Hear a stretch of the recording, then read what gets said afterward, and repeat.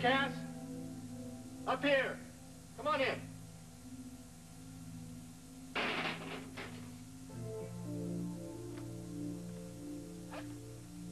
Cass, we're upstairs.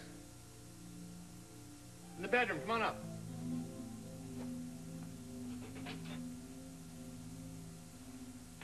Hi. Is Frankie here? Did she call?